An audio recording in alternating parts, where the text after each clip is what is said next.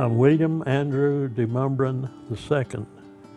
I was born Vanderbilt Hospital, Nashville, Tennessee, September the 2nd, 1930. Mr. Bill Demonbreun was the oldest of three children born to William and Etheta Demonbreun.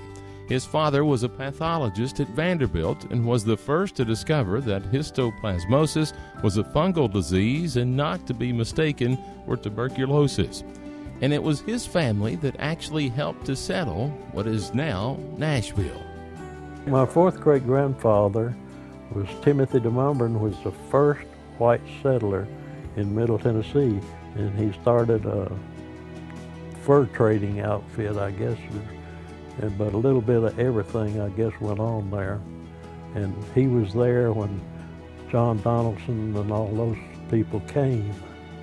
And he was welcome, welcomed them when they got there.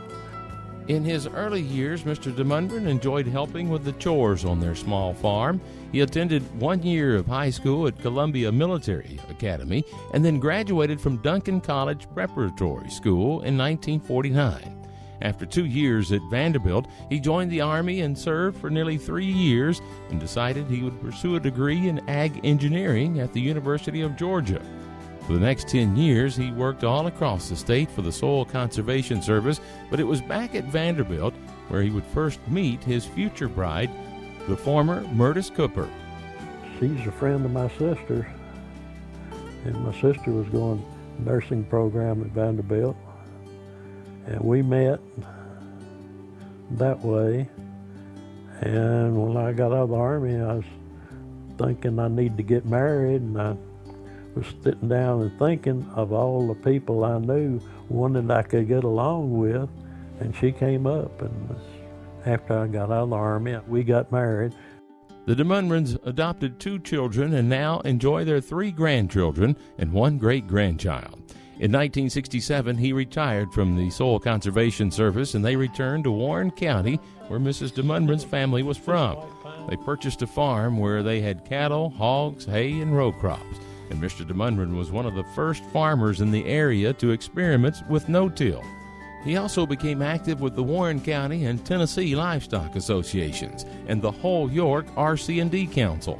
He's been on the board of the Warren County Soil Conservation District Committee since 1976 and has served as chairman there since 1984. And since the family moved to Warren County, they've been dedicated to their church, the Westwood Church of Christ you know, there is another life if you do it right, if you do reasonably well, follow the good book, everything. I mean, it's, it's a it's a comfort to know that things will eventually work out right. Mr. Demonbreun has also known how important it is to be a part of Farm Bureau. His membership began over 60 years ago, and he served on the board of directors in Warren County for the past 22 years and he's still active today. Well, the Farm Bureau just brings them all, it brings everybody together and they understand the other fellow's problems. They, they're common, use common sense. And, and, you know, that's getting to be in short supply. And it's shorter all the time, it seems like, because everybody's got something they're promoting and they're just kind of forget about common sense anymore. Mr. Bill Demonbreun's knowledge and common sense philosophy on the issues affecting farm and rural people has earned him respect throughout his county and across the state. And because of his longtime commitment and support, today he's awarded Farm Bureau's highest honor, the Distinguished Service Award. I think it's not deserved, but I, I, I, I really appreciate it. I really do.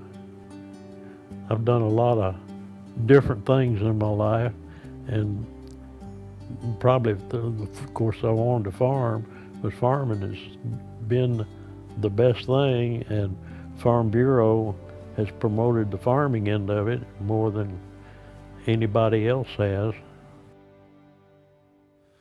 Well, it gives great pleasure to all of us to honor our distinguished leaders and all the service that they have done down through the years. And Mr. DeMumman, we really appreciate all you've done for us. Give you this plaque and thank you for your service and your time with us.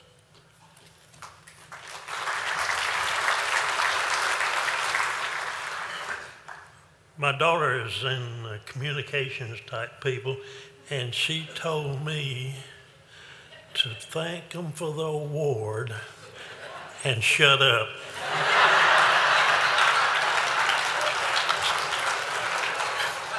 so thank you.